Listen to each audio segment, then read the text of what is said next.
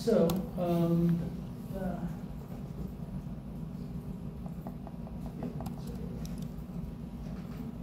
so, interleaving. So you've got process one, there's only one CPU, so as soon as it's blocked, you go to process two. As soon as it's blocked, well, you can either go to process one or three. Um, scheduler chooses process one again, process one goes, it gets blocked, you go to process three. So you'll notice at any one time, only one process is running of the three, because you only have one CPU. All right, now the other option is to do something like this, where now we've got two processors. So process one comes up, we start it. Process two comes up, we start it. Process one and two are actually both running at exactly the same time. Process three comes up and it says, eh, sorry, we don't have any available CPUs. Process one completes, okay, um, but process three is still um, currently blocked. Process two completes, now process three starts executing because it says, hey, I'm unblocked, but we still only have one CPU running. Eventually, process one becomes unblocked, it starts running, okay? So now we have two things running again. Um, eventually, three completes, we go to two, two's unblocked, two's running, one completes, and then, I mean, I'm sorry, two completes, one got blocked for a bit, finally gets unblocked, and it runs. So you can see at one point, right here, we had two things running. Here we only had one thing running. Here we only had one thing running. Here we had two. Here we actually had nothing running, okay? Because both of these had completed, and process one was blocked. So actually, zero CPUs were being used. And then finally, probably because we were waiting on I/O or something like that. And then finally, you have the one thing it completes. So depending on whether you have one or multiple CPUs, you can either be uh, do quote unquote concurrency by interleaving or by overlapping. Okay, so this is cool. We can now run multiple things at the same time. Well, the problem is um, you can get into what's called a race condition, okay? Because we don't have any guarantees that this process is going to run before that process, right? Because both of them can be put in the ready queue, and it's up to the scheduler to decide, well, this one's going to run, or that one's going to run. And you are not guaranteed that this one's going to run before that one. So that was, again, the producer-consumer problem. You're not guaranteed that the producer is going to produce, be run more times than the consumer wants to consume. So, in order to do that, we have to talk between the processes, right? We have to communicate some way, hey, I've got X many things in the buffer, uh, and that's enough for you to go ahead and consume uh, that many things. So you have to be able to communicate without overwriting each other's data, okay? Or without getting false or incomplete information. All right, so let's look at an example of that. So let's say we had two processes, process one, process two. They both call the echo method. Okay, and all the echo method does is say, hey, get char. So it's going to get something from the keyboard. It's going to go ahead and set um, char out equal to whatever the char in is. And then it's going to print that char out to the monitor. So when I type Y on the keyboard, a Y is going to show up in the uh, screen. Well, let's say we've got process run one running echo. And it goes ahead and says, hey, okay, character n equals get character. I hit X. Then it gets swapped out, and process two comes in. So it goes ahead and it runs character n equals get character, and I type a Y. So now uh, char n equals y. Well, then I go and I say put character. So what's uh, char out currently? Y, right? So we're going to see a y on the screen. Process 2 completes. Then we switch back to process 1. But what is char out currently? Y. So it prints the current value of char out, a y. So what you see on the screen is y, y not xy. okay? So, and the reason was because it stopped between this get char and the setting of char out. Now, if it had gone uh, char in, char out, I mean, had done all three of these in process one and then all three of these in process two, we would have seen X and Y. Now, there's obviously a situation where you could have seen X and X, right? So this is one of those, what's called a race condition, depending on who got there first as to whether we're going to see XX, YY, or XY. That's what we want to be able to prevent. Uh, another example of that is, let's say you have a print spool, okay? And um, the way they've implemented that is they've got a uh, out pointer that says, hey, this is the next thing that's going to be printed out. And then they've got an in pointer, well, this is the next thing to push onto the stack. So if I want to go ahead and put something in this print spooler, I go and I look at what the value of n is, and I put my file in that uh, seventh slot. And so eventually the spooler is going to read it, go down to seven, it prints out seven. Well, process A says, oh, what's the current value of n? Okay, oh, it's seven. All right, so I'm going to put my thing in there, uh, my program that I want printed out in seven, and then I increment n equal n plus one. And then process B comes in and says, hey, what's the current value of n? It's eight. Okay, I'm going to put my file in eight and then increment it to point to nine. But the problem with race condition is, let's say process A says, hey, what's the current value of n? Seven. Okay, it pulls it in. Now I'm going to put my value in seven, but before it increments seven, it gets swapped out. And B says, hey, what's the current value of seven? n? Oh, it's seven. So it writes its file into seven, overwriting what process A put in there, and then finally increments it, so n goes to eight.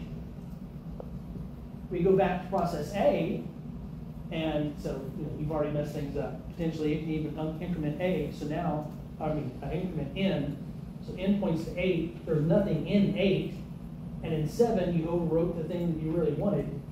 So, in any case, race conditions are very bad. How do we fix them?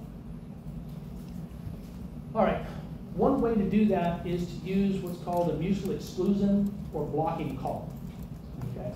And you just say, hey, here's a critical region of code I do not want you, any other process, from executing while I'm doing this. Okay?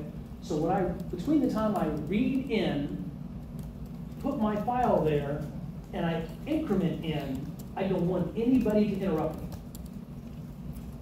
So we can say that is my critical region, and I don't, I want exclusive access right now to that variable n and to the spool while I'm in that region, nobody else can touch it. Okay? And again, the critical region could be memory, you know, variable, it could be an IO buffer, a hard disk, or any resource really. All right. So, by using these mutual exclusion or critical regions, you can prevent processes from messing with each other, right? Well, one thought would be, okay, well, I'm just going to start my critical region the very first line of a program, and I'm to end the critical region the very end line, end of my program. I don't have to worry about race conditions anymore. If we do that, what's going to happen? Right, but then the process can still interact and change each other. Almost the exact opposite. If I've said, I start my program here and I immediately block everything off, and I end the program and I allow things, can we ever run simultaneously anymore? we can never swap out, right? So program A is going to completely finish before I ever let program B in. Um, and the whole idea of time slicing is, hey, whenever program A gets to a point where it's blocked, then we're going to let program B do its thing. But if we have the whole thing as an exclusive region, B will never get a chance to do its thing. So what you really want to do is these mutual exclusion zones or critical regions, you want to make them as small as possible, okay? So that as I'm doing my stuff and I get popped out, somebody else can get popped in, we do a context swap, now I doing my stuff, and I finally hit that one region that's super critical. I'm about to do that shared variable, I'm about to put something in the consumer buffer. That's where I need to say, hey, wait, nobody bug me for just these five lines of code. And then you can go back. So one of the important things about using critical regions or mutual exclusion is you want to limit the areas to as small as possible. Okay. Now, having critical regions alone will not completely prevent a race condition. You end up needing four conditions for a good solution. Number one, two processes can never be in a critical region at the same time. Okay? And part of that is if this guy's in a critical region and this guy's in a critical region, they're both writing the same variable, that's the exact problem we want to try and fix, right? That's the whole idea of critical regions. You can only have one person in a critical region at a time. All right, good. You can never assume anything about the speeds or number of CPUs or anything like that. You can't assume, well, the producer is always going to be called first, and then the consumer will be called. You cannot assume that. Because of the scheduling, you may end up calling cons- uh, a consumer before the producer ever gets called. So you have to write a little bit of code in there to say, hey, are we in a valid state? Um, no process running outside its critical region can block another process. And this is the idea of like deadlock. Because if I've got a process over here that blocks my process, and this process B over here is in the critical region. So it started the critical region, it got halfway through, and it was about to let the critical region go and say, okay, everybody else can run now. And it got blocked. Well, guess what? It can never release its critical region, right? And everybody else who's waiting on that critical region can't run. And what's really bad is if this process over here that blocked that one is waiting on that critical region, it's blocked because of that one, and this one's blocked because of that one, guess what? Nobody's going to run. That's what's called deadlock. So, to prevent that, a process running outside its critical region can never block another process. You can only block people when you're inside your critical region. Okay? And then, just for fairness, you should never have a process have to wait forever to get to its critical region. Okay? So those are the four things for a good solution to prevent race conditions. Okay? You can't be in a critical region uh, same time in two places. You can't assume anything about speeds or, or which one runs first. You can't have this one outside of critical region blocking one, and you can't ever say no one process is ever going to be starved. It always has to at least be able to enter this critical region at some point. All right, so if we have process A, and it starts, you know, it's doing its code, it's doing its code, it enters a critical region, so it's starting to do its stuff. Well, all of a sudden B says, hey, I'm ready, you know, let me do my thing. It's gonna say, wait a minute, I can't, because somebody's already, process A is in its critical region. So I have to wait. I'm gonna put myself into a block state, even though all the other resources I need are available. You know, I could have been in a ready state, but because somebody else is in the critical region I need, I'm going to block myself. So whenever A leaves the critical region, it's going to say, okay, I'm gone, I'm out of there. Anybody who's waiting on this critical region can now run. B is going to get that and say, oh, great. Now I can go in, I can do what I need to do. It's going to set its critical region, do whatever it needs to do, and exit out. So does that make sense? So if we actually look at the code for something like that, we might have process one, it's going to do this while true, so this is going to keep going and going and going and going forever. Um, and it's doing its code, you know, it's creating things or doing whatever it needs to do. And finally, it tries to enter the critical region. And usually there's going to be a variable that you're going to set based on that critical region, so you can have multiple critical regions. Uh, maybe I have a critical region for the CPU and a critical region for the memory. And so I can say, hey, I'm setting, I'm entering the critical region for memory. And process in over there is getting ready to go into its critical region for um, CPU. That's fine. because the critical region for memory is completely different from the critical region for CPU. So we can both be in our critical regions as long as they're different regions. It's only when process one is going in critical memory region and process two tries to go into critical memory region that one of them has to be counted. So you're always going to send in which critical region are you talking about? In this case, region A. So here, I'm going to do my code, I'm going to try and go into critical region A, and if so, it lets me in, I'm going to do what I need to do, and then I'm going to go ahead and exit the critical region. Same thing for process B. It's going to do what it needs to do, it tries to go into A, it either is going to be allowed in, or it's going to be blocked. So, simple solution, single processor, is to say, all right, we're going to block everybody that's not in the critical region. Now, the problem becomes, what happens if we have an interrupt? Okay, so I'm getting ready, I'm starting to do my critical region stuff, and I get interrupted, and it goes to some other process, right? Well, what happens if I never get back to my process to close out my critical region? All of a sudden, we've got problems, right? So, interrupts really cause an issue with critical regions. So, what's an obvious solution? Turn off the interrupts. All right, well, that's good. Except that, now wait a minute. How do we know that we can switch from process A to process B? There are two ways to do it, right? One, you can voluntarily say, hey, I'm going to give up control every 10 seconds. And you say, hey, I'm going to do the trap. You go down and let the operating system see if anybody else needs it. Otherwise, it's going to put you back in. But do you really want to allow or require programmers to voluntarily give up control?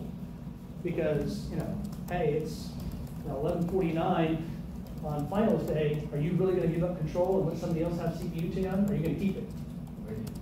Yeah. So, you know, people have a tendency not to be, you know, clear. So oftentimes they won't have it as user control, they put it down in the kernel. So it's now the kernel, the operating system's responsibility to make things fair, right?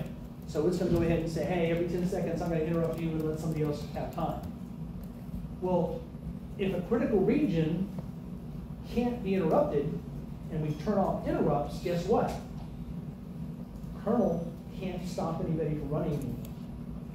So now, as soon as somebody goes into the critical region, they've got CPU from now on, right? Until they exit the critical region. So that doesn't work very well either. Um, just completely disabling interrupts means that there's going to be no clock interruptions, therefore no mechanism for swapping, therefore you'll never switch between processes. So that's not really a, a great idea. All right?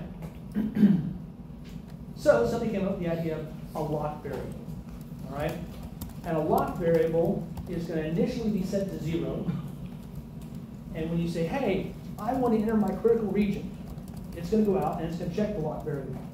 If it's zero, then it's going to say, great, you can go in. There's nobody else using it.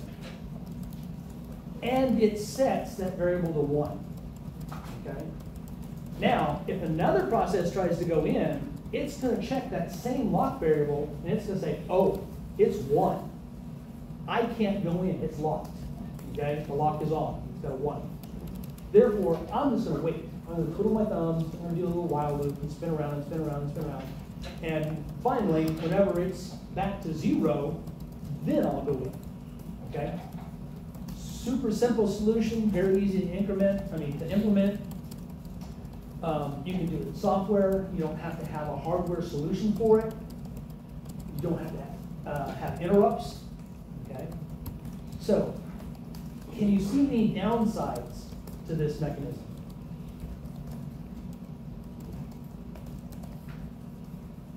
Normal variables would be what variables, so we'd be like wasting that space that has, that, that variable's taking up. Okay. Anytime you're dealing with this kind of stuff, it's going to take CPU time to check it, and you're going to have space allocated to it. So it's a resource hog. But then again, I mean, as we talked about earlier, the whole operating system um, all that code, I mean, it may end up eating half the time in order to give you the benefits of being able to roll, to run 10, 12 programs at the same time. So that's, that's a point. What's the other point is, okay, if we're doing a lock, then we're reading the value, we're checking it. If it equals one, we go on, or if it equals zero, we go on and increment. Well, that's like four instructions, right? Get it, test it, set it. What happens if in the middle of setting my lock variable, I get swapped out and somebody else starts testing the lock variable? We've got another problem, right? I mean, we're using lock variables to prevent, you know, critical re, or to implement critical regions, but the lock is now the critical region, right? So we still have the same problem.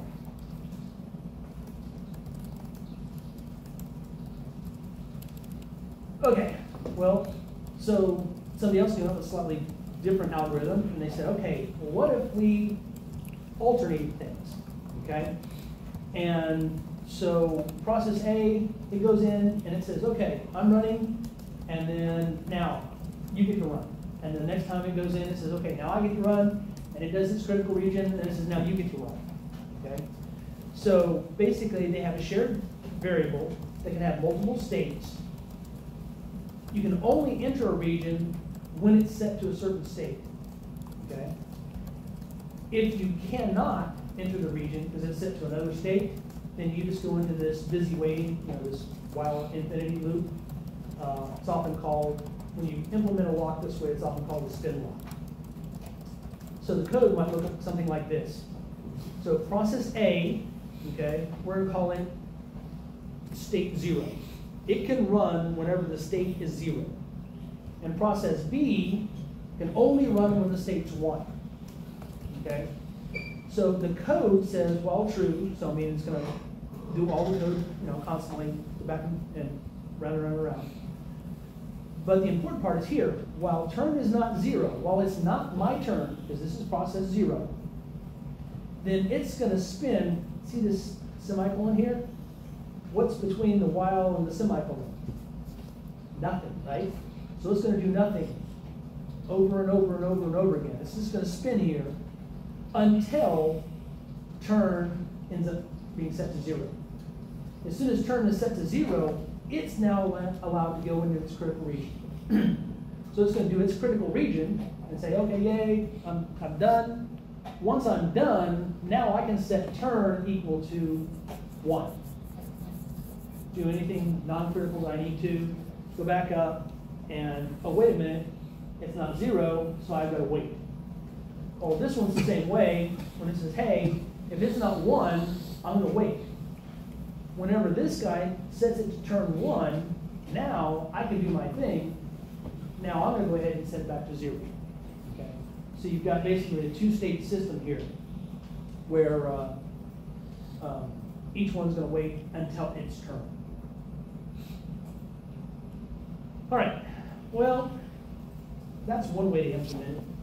There's actually another way to implement it called uh, Peterson's solution. And basically, he went ahead and said, hey, um, I've got, in this case, two processes, uh, process zero and process one. Um, so when you try to enter the region, and you say, hey, I'm on process zero, I want to come on in. So it says, okay, well, what's the other process? So one minus zero is going to be one. So the other process is one. Now, we're going to go ahead and have this array saying, hey, I want to run my critical region. And it's going to be an array of two things in this case. So you're going to say, okay, um, interest, my process, my process is zero. I'm to say, yes, I am interested in running the critical region. And the kern, the turn is currently zero. Now, while turn is zero, and the other guy, because remember, I'm process zero, the other is process one. If the other is true, okay, um, so while the turn is me and the other is true, then I'm going to spin. And it's only when the other is set to false, they're not trying to get into the critical region, and it's my turn, then I'll go ahead and do it. And it works the same way with the other guy. If you're um, process one, you come in here, or zero, you come in, uh, one. One come in here, uh, one minus one can be zero, so the others will be zero. You say, hey, set zero to true. If it's your turn, the other one's not interested, then boom, you let it go. Whenever you leave a region, you just go ahead and say, hey, interest process equals false. Okay? So the thing that's different about this one, back here, um, both of these guys are trying to change term, right? It's a shared variable, so you can have problems when one of them starts to change it, switches over, and the other one changes it. But if you look in this case, process one, okay, he's only ever changing his interest in process one. And process zero is only changing interest process um, zero or one, right? Now, you're looking at the other one, but you're only changing yours. That way, you never have process B or process zero changing process one's interest, or vice versa. You're only changing your own interest. Therefore, you never have a problem about the two different guys changing. It's sort of subtle, but don't expect you to catch it the first time. Um, but go ahead and look over this a couple of times and get to the point where you can actually see, oh, I see how it's working, and I see why this is better than the other one. Does that make sense? All right. Well, part of the problem with the first solution was that you had to go ahead and look at the lock, get its current value, see if it's zero, increment. So there were like three steps. And if you got swapped out anywhere in those three steps, but after the third one, potentially you have a problem. So what if you had a special instruction? So the hardware architecture was set up that it had an instruction that did all three of those things as a single unit. Okay? Then you could never have that test lock um, in a halfway state when you're swapped out. Because you either hadn't done the instruction or you had. Because it's all in one instruction. So some processors actually have a test and set lock instruction. So it's all done in a single um, instruction. Therefore, you don't have to worry about it being split halfway in half. All right, so basically, when you start doing a lock instruction, it's going to go ahead and if it's zero, it sets it to one. Um, if it's one, you're blocked. And when you're done, you just set it back to zero. So in your assembly code, it's going to look something like this. So you do TSL, you do your test and set lock. Now, again, you're going to set that thing, but when you set it, you sort of have to know, well, was it in the zero state or was it in the one state when I tried to set it? Because if it was in the zero state before I tried to set it, then I'm allowed to go on. If it was in the one state, I need to be blocked. Okay? So when the TSL, it's going to go ahead and set this to one, but it also tells you what was the state before I set it. Okay? So the register value coming back is either going to be zero or one. So when we compare it to zero, um, if it was zero, meaning we're good, then we can just jump, get out of return. We're done. If it wasn't, then we need to spin and just wait and wait and wait until it is. So we're going to go ahead and jump not equal, um, back up to inner region. We're going to test it again, compare. Was it zero? Nope. Go back up. Was it, you know, we keep going back up, going back up until it was zero when we tried to set it. Then we can get out. And on the same way, when you're going to leave the region, then all you have to do is set it back to zero. That make sense? So this is just an example of if the hardware has a dedicated instruction that's indivisible, therefore not interruptible, um, it's a much easier problem to solve. All right, well, one bad thing about this code that we've looked at so far is you're in this wait semicolon routine, right? And you're just spinning and spinning and spinning and spinning, you know, you check it, you check it, you check it, is it, you know, is it zero yet? No. Is it zero yet? No. You're wasting tons of time, CPU cycles, um, just saying, are we done yet? So another solution is to say, hey, what if we had a sleep method that basically says, all right, I'm gonna go ahead and, um, say I'm not in a ready state. Put me back on the queue, and next time I'm up, then cool. As long as I'm in this sleep state, I'm not gonna eat cycles. Now, that depends on somebody then waking me up. Yes? Uh, how's that different from like the block state? Is it like because they're putting it, putting themselves into it, or? Yeah, uh, basically, um, if you just put in the block state, you're gonna be put in the block queue, and eventually you're gonna come back up and you're gonna go back to the ready, right? But if they've never said, we're out of the critical region yet, it's sort of a waste to go back up into the ready state, right? Oh, okay. So instead of just being blocked and then ready and blocked and ready, mm-hmm. in that cycle, you really wanna be put in almost a different queue or someplace else mm-hmm. saying, hey, I'm in the sleep state. Don't even try to run me until somebody says, hey, it's now valid to running me, mm-hmm. okay? And the way they do that is they call the, um, awake or wake up. So what you do is you say, hey, I'm gonna go to sleep, and then when the producer, uh, produces enough things that the consumer can run again, the produ, it's up to the producer to say, hey, wake up. Then it says, oh, okay, great, now I'm gonna put myself in the ready queue, and then when it's my turn, now I get to run.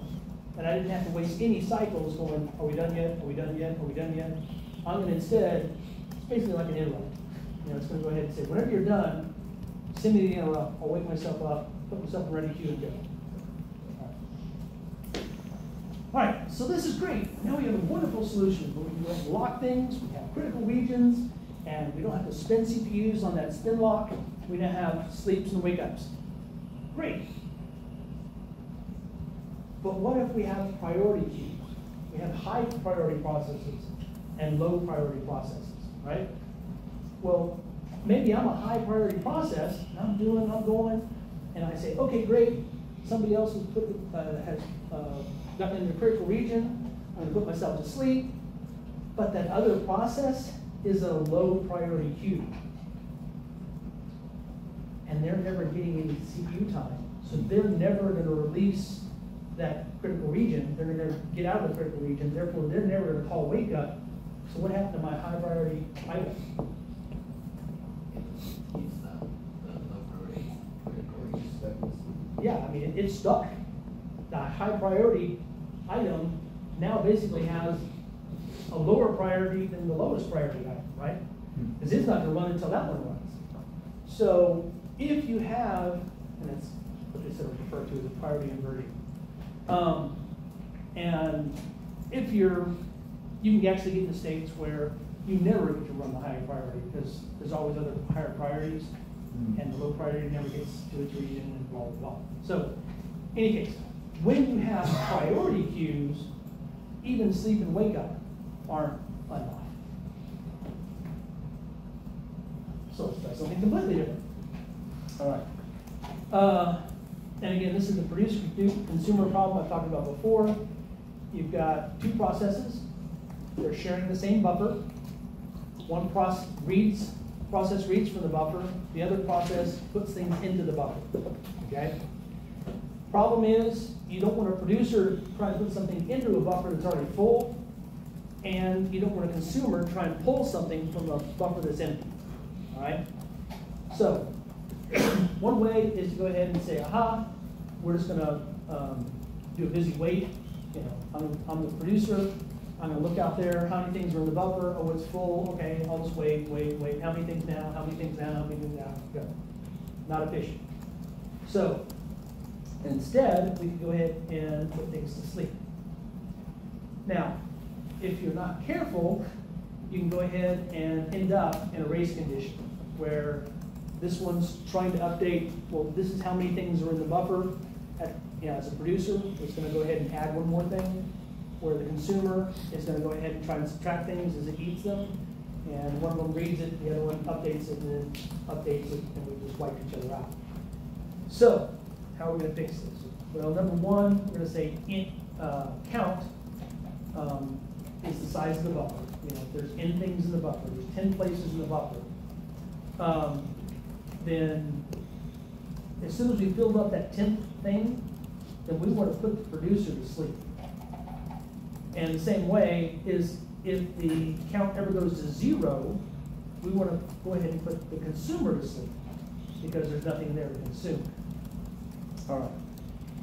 All right. Once the producer puts something into the buffer, so it goes above zero, then we can wake up the consumer. And once the consumer has pulled something out of the, uh, the buffer, then it can wake up the producer. Alright, so the code's gonna look something like this. We're gonna go ahead and set n to whatever, however big our buffer is. We're gonna set our count to zero. So n is like how many things, hold on, the size of the buffer. Count is how many things are currently in the buffer. So our producer is gonna be in this infinite loop. It's gonna create an item. If the count is currently in, now I'm gonna go to sleep. If it's not in, then I'm gonna go ahead and insert the item I just produced. I'm gonna go ahead and put count equals count plus one, right? But if it was zero, which meant there was nothing in there, so the consumer is probably asleep, I just put one thing in there, in other words, the count's now one, then I wanna go ahead and wake up the consumer. So basically, I've got two things here. If it's full, I'm gonna go to sleep as a producer. And if it was empty, I'm gonna wake up the consumer. Well, the consumer is the exact opposite. If it was, uh, there's nothing in there, then I'm gonna go to sleep. And if it's full, or if it was full, um, and I just ate something, then there's now room to put something in there, so I'm gonna wake the consumer back up. So, some have the idea of how that works? That sort of makes sense? All right. Problems with that?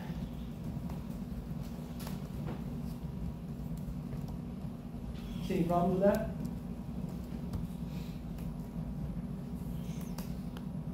What? Uh, I thought, maybe I'm reading it wrong, I thought, um, I thought it was when the count equals in that it wakes up the consumer. Um, the consumer only needs to have one thing in there, Okay. and it can consume that one thing, right? Mhm. So when it's zero, you wanna stop the consumer. As long as there's anything in there, you can start it back up. Okay. Now, depending on what code you look at, sometimes it says, hey, I want it to be completely full before I start the consumer up. Mhm. Because if I only put one thing in and immediately consumes it, it has to go immediately back to sleep. Mhm. And so there's some context switching, so sometimes they say, hey, I want it all the way full before I wake the consumer back up. Then it'll start eating things, that's, that's a whole different issue. At this point, just know that if it's in a state I can't do, I should go to sleep. So on a producer, that means when it's full. On a consumer, when it's empty. And then whenever it's in a state that I can do something, so a producer, it's not full, or a consumer, it has something, there's one or n items, um, then go ahead and wake me back up. So, hey, cool, this should work, right? What's the possible problem?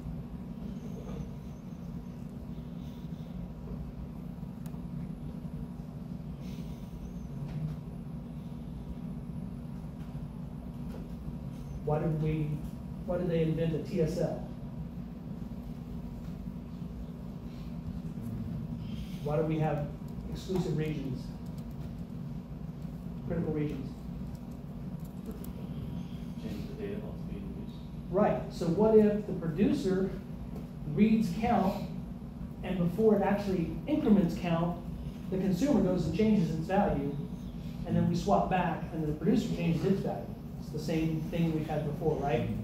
This implementation is not gonna work, because we can swap out. We haven't, we don't have any TSLs, we don't have any critical regions, we don't have any, anything preventing the count from being changed partially in both of them at the same time, right? So, how do we fix that? All right, one solution is to go ahead and add, um, those critical regions, or we could even have a bit to take care of, um, when to wake up and when not to wake up. This ends up not even being a very good general approach. So there's some other ones, and let's go to that before we really talk about this. I hate to go into too much detail on this one, because it ends up with problems with it. So how can we, how can we fix that? Well, one thing is called a semaphore, okay? And it's a special value, usually implemented as an integer, to keep track of critical regions, all right? So each process that wants to look at a critical region, it checks the semaphore, okay? And the semaphore says, hey, yeah, you're good, then you go into that set of code. If the semaphore is in a bad state, you cannot go into that code, right? And so either you spin lock it, you know, you just go to a wait, or go to sleep, or whatever. So by looking at this semaphore, this gatekeeper, it can go ahead and say, yes, you can go in, no, you can't, all right? Um, sometimes you implement this with a monitor. Um, if the region's full, you go to sleep. One of the important things about semaphores are they are atomic, okay? Meaning, it's gonna take, the pull the value, test the value, set the value, is all in one indivisible unit, just like the TSL, yes? Uh, I thought the critical region could only hold like one process at a time. We're, we're gonna generalize this now, Okay. okay? So in the past, it was either zero or one, right? Well, with semaphores, you can actually set it to a value n. Yeah, this is, this is the, the, now that you've got everything down with, with zeros and ones, now we're gonna say an n number of things, okay? Uh, and then what we end up doing is when we use that for the consumer producer problem, where we have a buffer size of ten, then we can go bump, bump, bump, bump, bump, and we'll see that in. All right, so, one of the important things is semaphore, semaphores are, uh, atomic. They're indivisible, you're never gonna get halfway through, so that's gonna solve that one problem. All right, so, a general implementation of a semaphore is just, you've got ups and downs. So if you call, uh, down on the semaphore, it's gonna take that count, and again, the semaphore data structure has got a count in a queue. That count is initialized to some value. Every time you call down, it's gonna subtract one. If count is ever less than zero, you know, so process says, hey, I wanna run down, and the count is less than zero, then you say, ah, that process has to be put in the wait loop. Now, whenever you call process up, then it looks down there and it says, oh, okay, we're gonna add one to count. And if the count is less than or equal to zero, then I'm gonna pull something out of the queue and say, okay, now you can run. So basically, we're gonna use this semaphore and say, hey, I'm gonna down it as I go into my critical region. When I'm done, I'm gonna hit the up and come out of the critical region. So if we actually look at an example of this, all right, so in this case, we're gonna do a semaphore where S equals one, okay?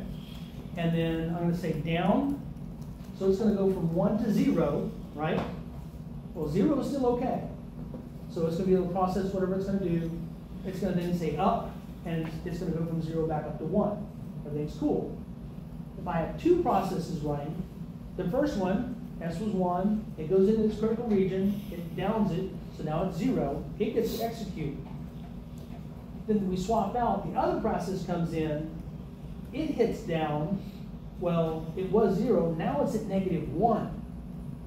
So it's gonna go into a wait state, right? Or whenever process one finally says, okay, I'm gonna do an up, it's gonna go from zero, uh, from negative one to zero. And again, if we look at the previous code, uh, if it's less than or equal to zero, I'm gonna pull something out of the queue and let it run. Okay, Yes, Okay, so if I'm understanding this, if you start at one. Yep. The first time you call down, you get a zero. Yep. You get placed in the critical region. Or, um. no, no, no, if it's less than zero, Oh, if it's equal to zero, you can still run. okay, okay. If it's less than zero, you're the second, third, or fourth process that's trying to get it, Mhm. then you can put the queue, Okay. all right? Uh, But if you, um, if you're less than zero already, how can you get to like negative two, or three? um, You just call up, I mean, let's say you had four processes running. Because see, we're, we're generalizing, we're not just talking about two things now, maybe we have four processes running. Mhm. And so the first one goes, and it goes to zero, and it gets to run. Yeah. And then the second one goes to negative one, and then negative two, and then negative three. Uh-huh. Well, when we do an up, negative three is less than or equal to zero, we pop one thing out of the queue. And the next time, it pops out of the queue, and then it pops out of the queue. So now, using semaphores, we can actually have ten different producers or consumers all running at the same time. And this will actually allow only one of them potentially to run, right? Mhm. But wait a minute, what if we had set that not to one? What if we had set S to two? Hey, we have two CPUs. So the first time it runs, it goes from two down to one, it lets it go, right? And then the second one also get to go. The second one, it goes from uh, one down to zero, it gets to go. The third process comes in, it goes to negative one, it gets put in the queue. Make sense? Mhm. So now we, with semaphores, have a way to say, oh, I have multiple resources. And I can have multiple things trying, process trying to use that resource, and it still works. So this is actually a pretty cool representation. It was generated by a Dutch programmer. And so a lot of times uh, in Dutch, and I cannot speak Dutch, don't even try, but there's a word called, starts with P, um, that means test. And then there's another word that starts with a V that means increment. So oftentimes when you see things, you'll sometimes see P and V semaphores. And that's from the original Dutch uh, article on, on this. Right. Digress. Okay, so if the semaphore has a value of one, it's called a binary semaphore. It's either zero or it's one, right? Um, but the cool thing about semaphore is that you can set it to something other than one, in which now you can go ahead and say, hey, I've got n number of processes trying to use m number of things, uh, and it still works.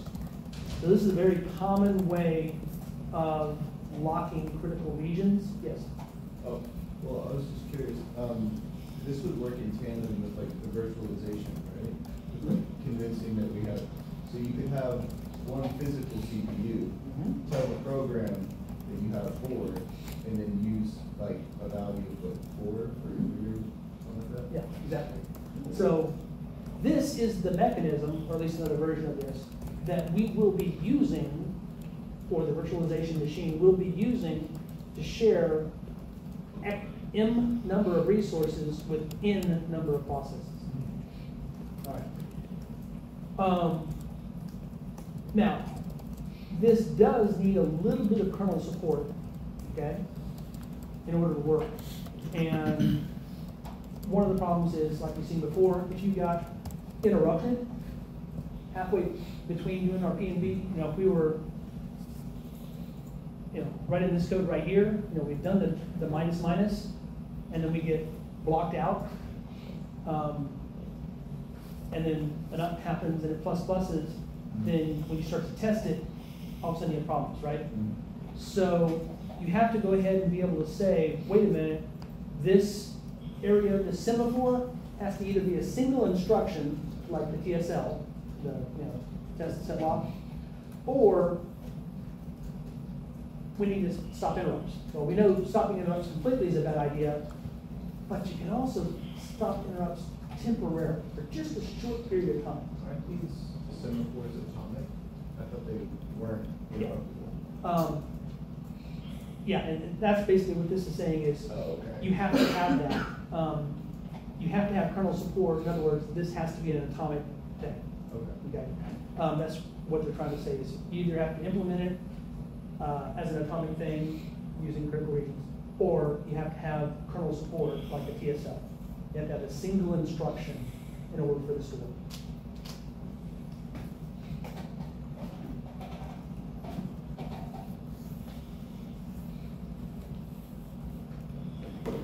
So, let's look back at our producer-consumer problem, but this time we're gonna use semaphores. So, we're gonna have one semaphore, we're calling, we're gonna call it mutex, or mutually exclusive. We're gonna have one semaphore for empty, and we're gonna have one semaphore for full. All right? So when we go into our producer, we're gonna go ahead and say, yeah, I'm gonna do my non-critical thing, I'm gonna produce an item. But then before I actually insert the item in the buffer, I'm gonna, number one, say empty is gonna go down, okay? Um, and since I'm the only one messing with empty, I can do that outside the critical region. So the producer is only gonna mess with the empty. The consumer is only gonna mess with the full. Okay? And that's sort of what we saw earlier when we had the interest, I'm interested in doing the process. But when we actually go here, when we're actually gonna push the item into the buffer, we need to be, um, in a critical region, right? So now we're gonna go ahead and do down on mutex. And again, mutex only has a, a one, right? So it can either be one, we subtract it down to zero, and the other guy's gonna get blocked. So now we down our mutex, now we're in our critical region, we can insert the item.